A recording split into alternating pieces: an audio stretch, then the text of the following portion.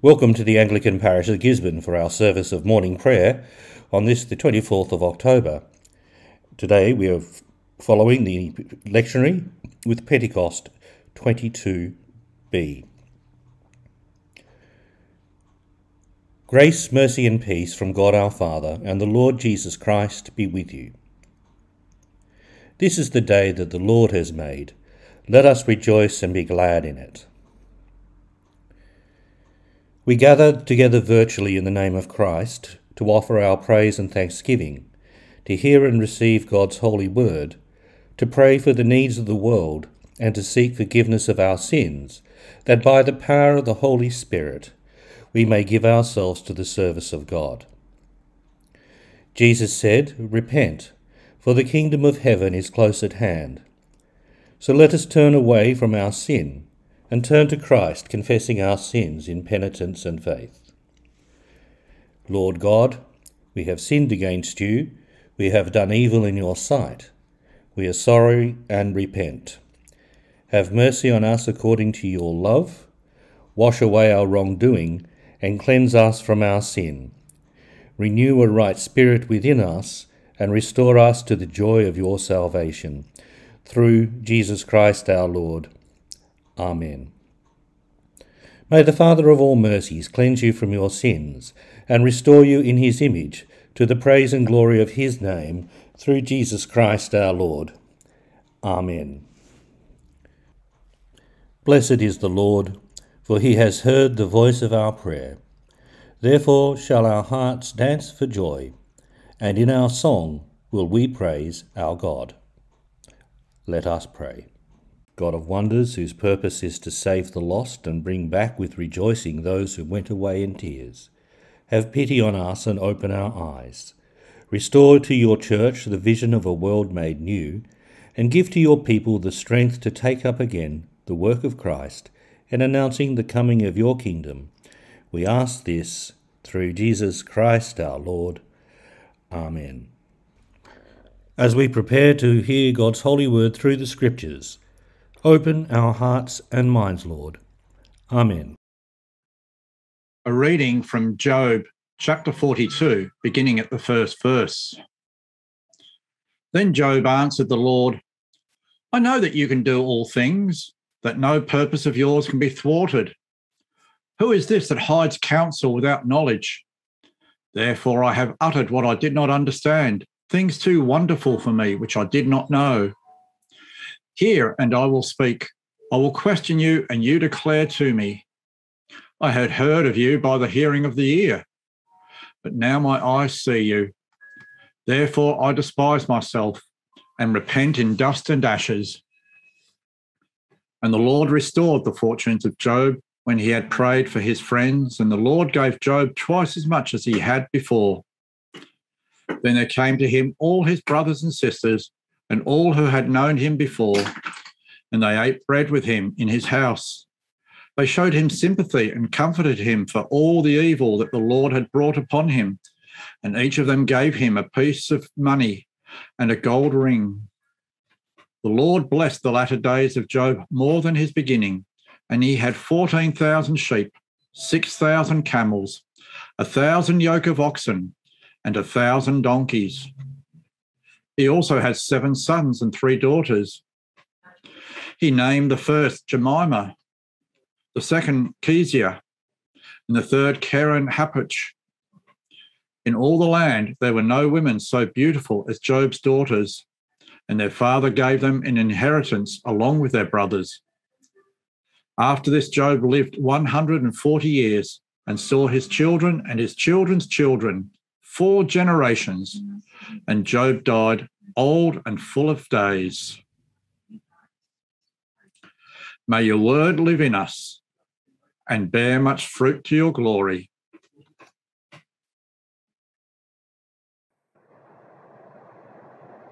I sought the Lord, and he answered me and delivered me from every fear.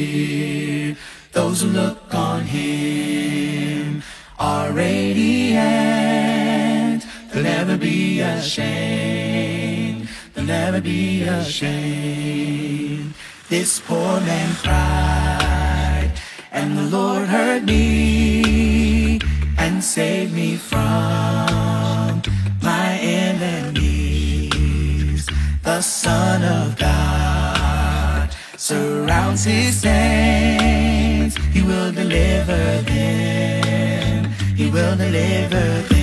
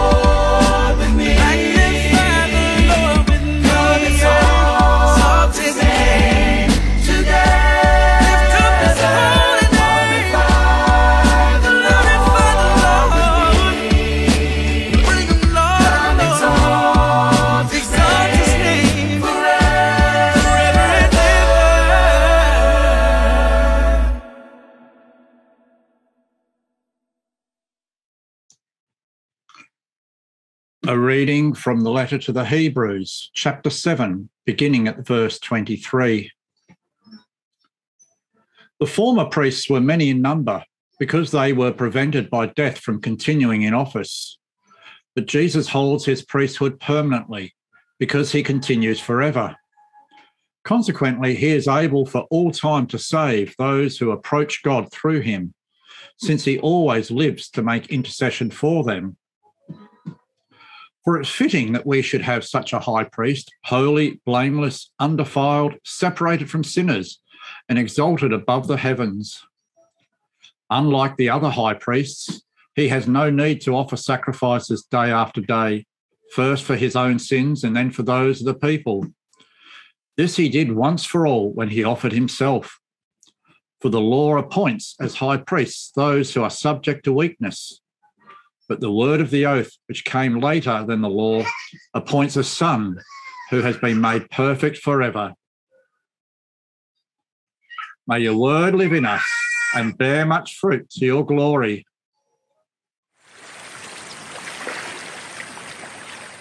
Then they came to Jericho. As Jesus and his disciples, together with a large crowd, were leaving the city, a blind man, Bartimaeus, which means son of Timaeus, was sitting by the roadside begging. When he heard that it was Jesus of Nazareth, he began to shout, Jesus, son of David, have mercy on me.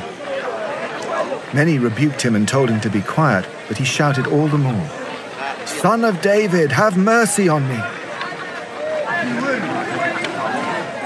Jesus stopped and said, Call him. So they called to the blind man, Cheer up, on your feet, he's calling you. Throwing his cloak aside, he jumped to his feet and came to Jesus.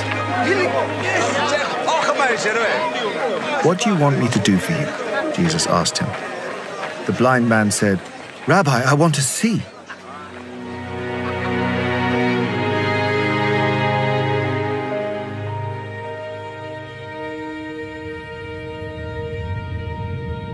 Go, said Jesus.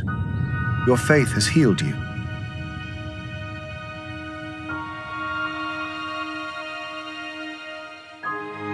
Immediately he received his sight and followed Jesus along the road.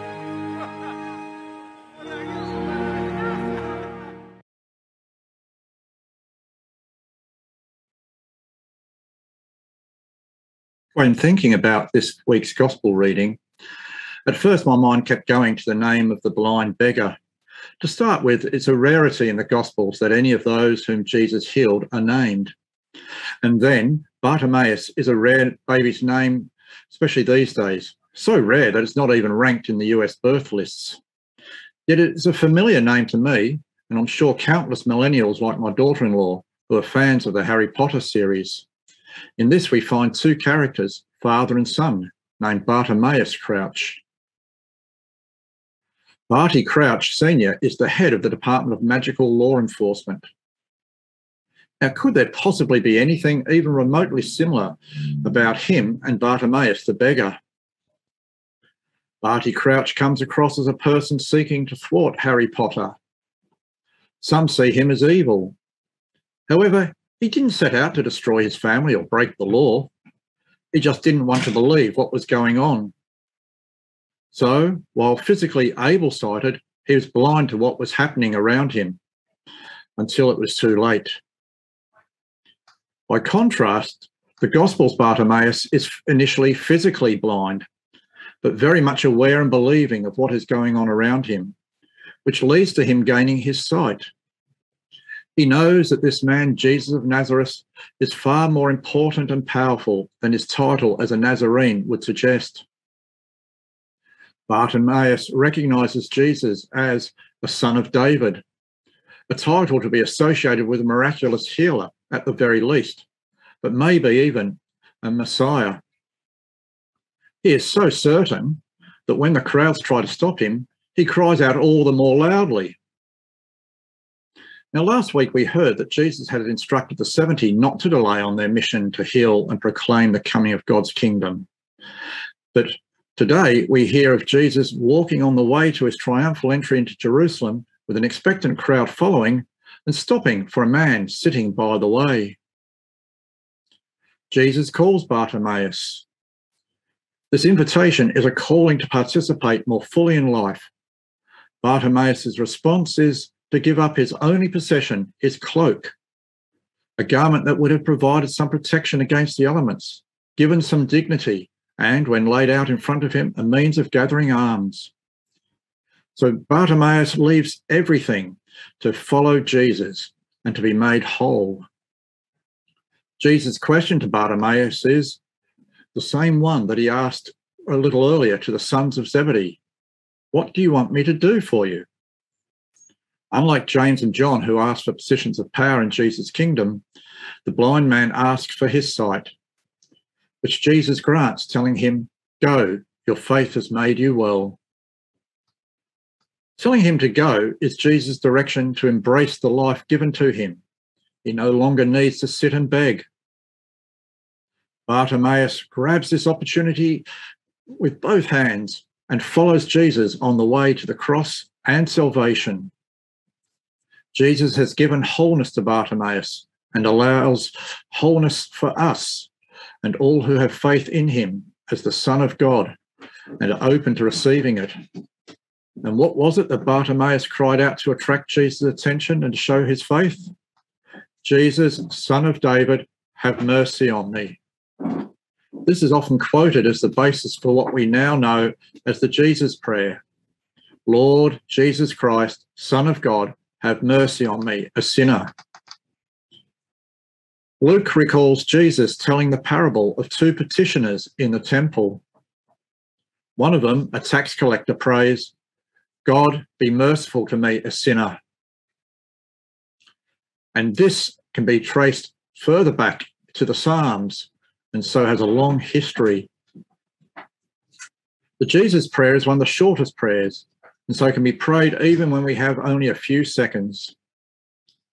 Nevertheless, when taken to heart, it carries a real punch. It begins with Lord.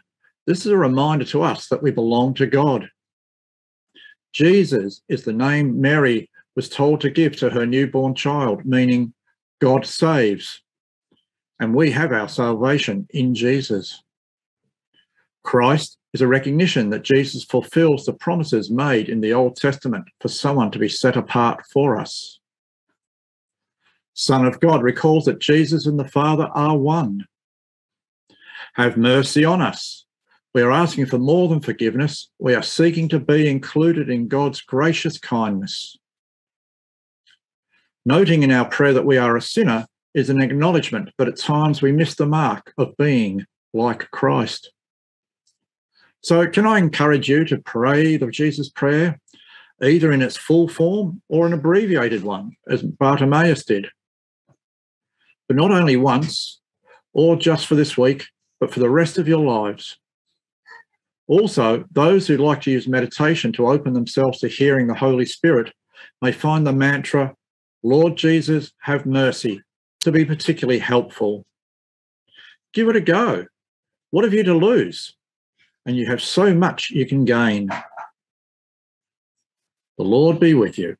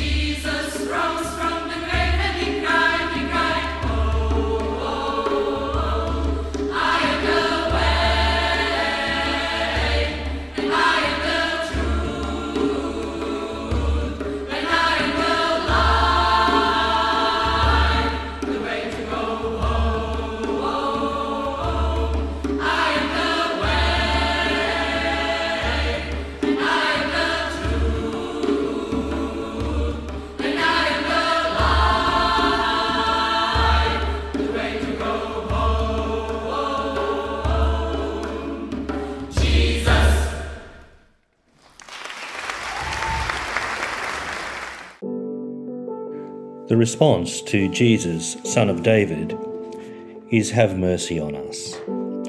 Jesus, Son of David, have mercy on us. We give you thanks that you come to us in weakness, born into an oppressed race.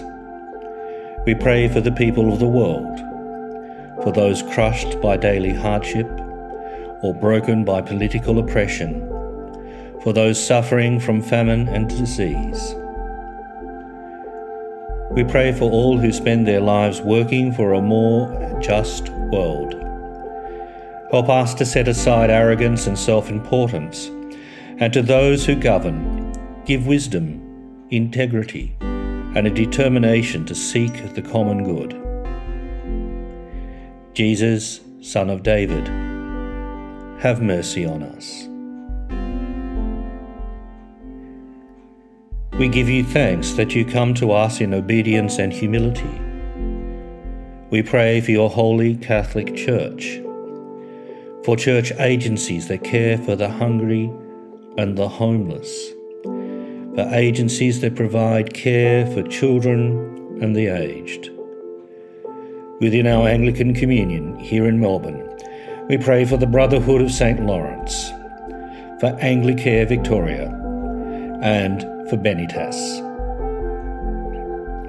We pray for all who will answer your call and spend their lives in your service.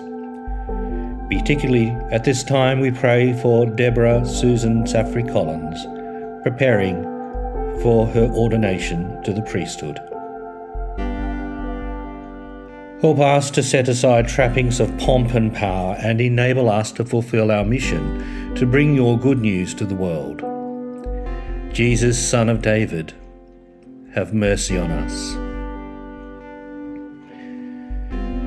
We give you thanks that you come to us teaching us ways of forgiveness and love. We pray for the community in which we live, the Shire of Macedon.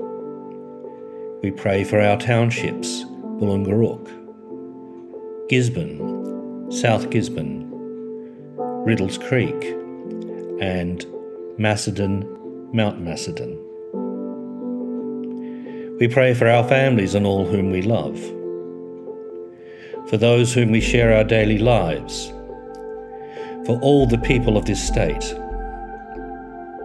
We give thanks that we are now enjoying even more freedom, but help us to be responsible in our relationships to one another.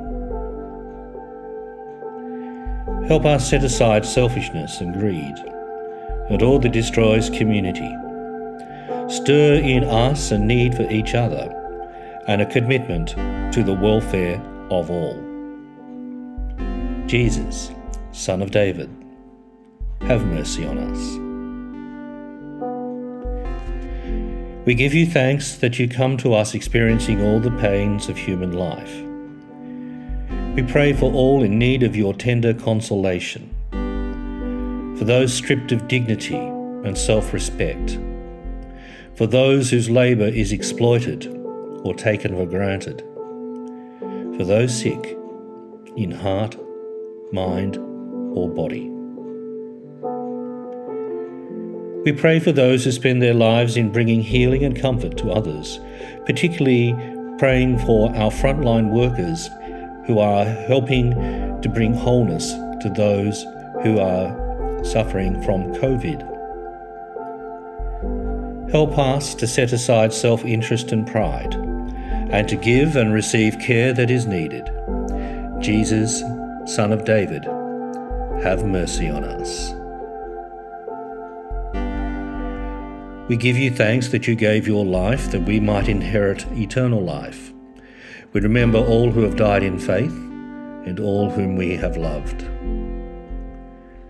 Help us to set aside all that prevents us from serving you, that we, with all your saints, may come to the place you prepare for us and eat with you at your heavenly banquet. Jesus, Son of David, have mercy on us. We offer our prayers together as we pray. Through the gift of your Holy Spirit, you have united your people in the confession of your name. Lead us by the same Spirit to show to the whole earth one mind in faith and one faith for justice. Through Jesus Christ our Lord. Amen. Being made one by the power of the Spirit, let us pray with confidence as our Saviour has taught us. Our Father in heaven, hallowed be your name. Your kingdom come, your will be done on earth as in heaven. Give us today our daily bread. Forgive us our sins as we forgive those who sin against us. Save us from the time of trial and deliver us from evil. For the kingdom, the power, and the glory are yours, now and forever. Amen. Notices for today. I draw your attention first to the annual meeting of parishioners. Nominations are now called for and will be required to be in my hands by the close of business hour 5 pm on Friday the 29th of October 2021.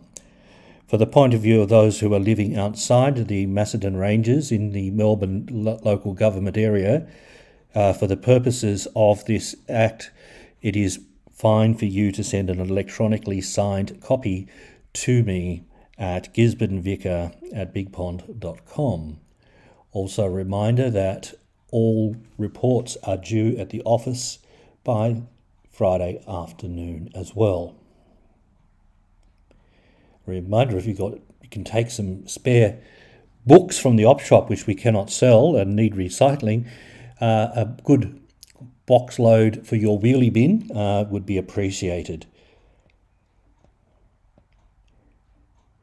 There's a, lot of things changed during the week, some of them daily, and even the pew sheet as I prepared it is slightly out of date already. It was like swimming through a lot of paperwork this week, and I felt somewhat suffocated. And I thank Nigel, and I'll put the cartoon up here now, for this um, very clever reminder. And yes, that is me with one of my football umpire flags surrendering. So, quick answers do you need to be vaccinated to attend church? Yes, for all services except for the Sunday morning 9:30 a.m. one at St John's, Riddells Creek. That is an all-comer service, and the only requirement is the density quotient and wearing a mask.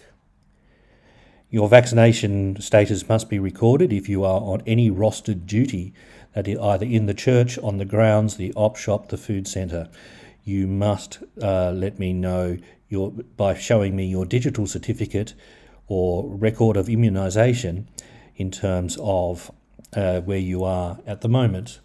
Only I keep that, and with the help of the COVID marshals, they will uh, relay to me um, if they have sighted those appropriate things. Um, you don't have a smartphone, uh, you can still sign in manually, and the COVID officers will help you. Uh, all the other things I do believe to be true. So um, please bear with us as we put these things into practice. During the course of the services this weekend, I am going to have read what's called the Si Quis, which is whosoever in Latin, and it uh, is calling for anyone who knows any just cause or impediment, while the Reverend Deborah Safrey Collins should not be ordained to the priesthood, to come forward and speak now. If there's no impediment alleged at any of the services on this weekend, uh, it'll be the pleasure of the parish wardens and myself to sign this so that Deborah, as the Archbishop has indicated his desire, will be ordained on November the 27th in the first session of ordinations at St Paul's Cathedral. This at this stage is looking like a um, invitation only event. However, on the Sunday, the 28th, Deborah will be presiding at her first Eucharist, and that will be a much freer event in terms of numbers. So please continue to pray for Deborah as she now begins this final journey or final month journey towards her ordination to the priesthood. Today's Chaconne is played on the Willis organ by Dr. Diane Gome and is raucously accompanied by the late native birds of the area, and I think that just adds to its charm. So thank you, Diane, and thank you everyone for your continued support.